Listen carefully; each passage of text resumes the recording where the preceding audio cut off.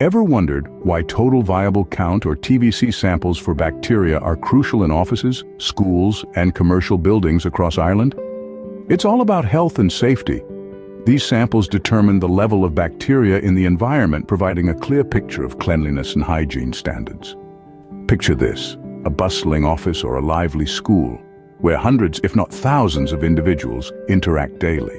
Every surface, every corner can be a breeding ground for bacteria, potentially leading to health issues.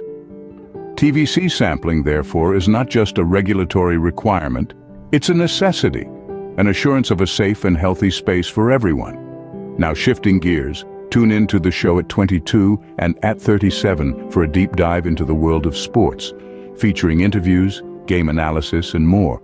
Get your daily dose of sports updates right here. Remember, stay safe, stay informed, and stay tuned in. Until next time.